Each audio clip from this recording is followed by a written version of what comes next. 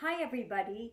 Today, I wanted to introduce myself and tell you a little bit about me rather than just teach yoga or Pilates or fascia release work. Because I think the backstory about a person is very, very interesting to give depth and perception to who this person is and what they're all about.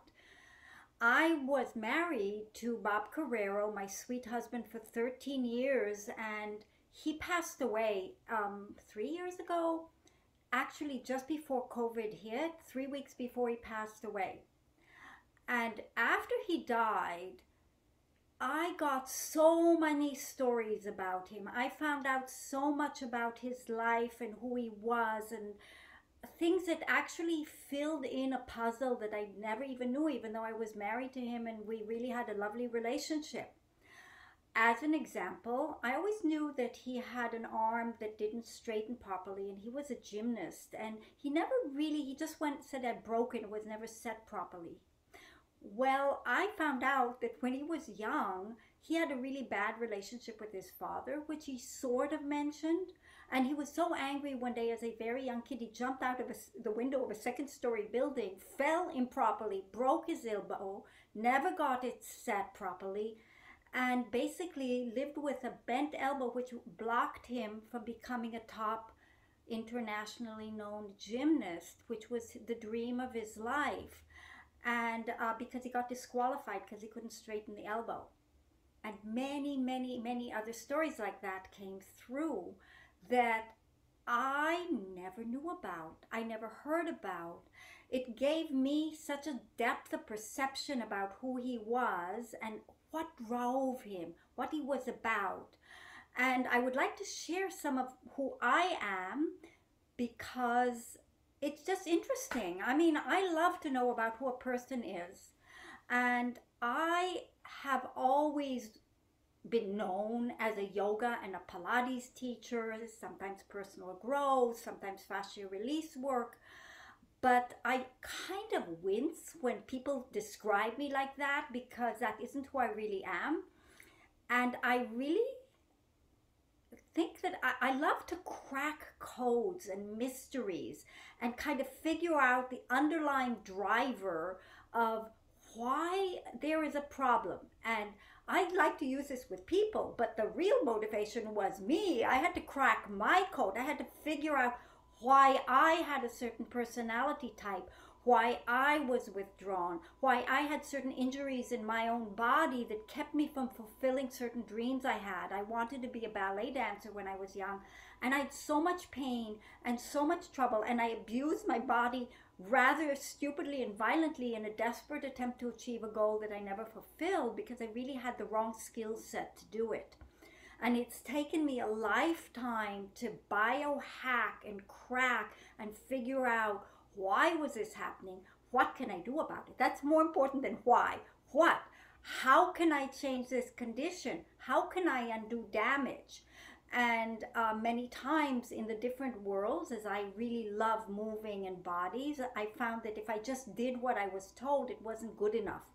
I wanted to develop my calves and I do calf raises and, I'm, and then I'd tear my Achilles. I do things to strengthen my core, my stomach, and I'd get back pain, but I didn't fire my stomach muscles. So a lot, this happens to many of us, probably all of us actually, because we're each unique and we each have a unique um, how we're put together. We really are, each of us, a unique code. And how do we crack this code in multifaceted ways fascinates me and really is so interesting because every time you crack a code and you see that you up level, it's like this big, big victory.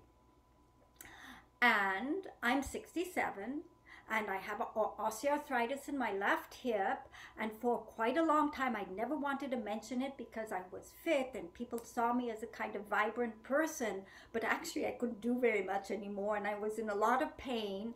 And it took me a while to say, I can't keep hiding this. And basically, I could feel myself pulling back from life. I have to take this as a vast opportunity to grow. And when I started to confess to my students my conditions, I felt like a gay person coming out of the closet and saying, by the way, I'm fucked up. Something's wrong. It's not my body isn't working the way I it used to, and I have a problem I have not figured out what to do about. A basic, basic belief system I have is that the body wants to heal. The body always wants to up level and upgrade, as do each one of us in every aspect of our lives. And again, it comes back to how do we crack this code? How do we find our own way?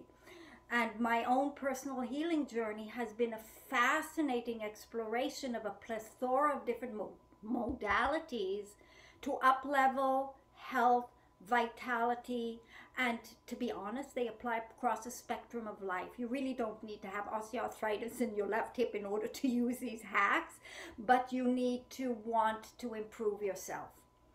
The older we get, the more we've accumulated life. This is one of my belief systems. We accumulated life and we accumulate trauma and challenges. Now, on the other side of that, we also accumulate wisdom and knowledge and a depth of comprehension of potential. We're kind of becoming a more complex computer if we keep tweaking the machine.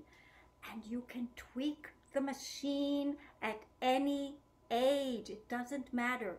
So, my philosophy is you can uptrend at any stage. Any time in your life, you can raise the bar and you can increase your sense of well being, your happiness, your energy, your vibrancy. And it's better to start now. Don't wait then you're really fucked up because it's a bigger, steeper ride up, but it's still a possibility. So I decided that I would like to be sharing a lot of my hacks and my protocols with you over the next weeks. I'm going to be posting at least twice a week on social media different things that I do in my life, things I've discovered that work for me and sometimes for my clients as well, because I have a big library of, um, you know, hacks. And um, I would love to hear from you as well. Like, what are your blocks? What are your problems? Um, where are you stuck? Because that kind of turns me on and makes me want to jump in there and figure it out. And it's always teamwork. It's never alone that you figure things out. So I look forward to hearing from you. If you wanted to know more about me, my website is www.niedragabriel.com. And that's it. Now you know a little bit about me. There's more to come.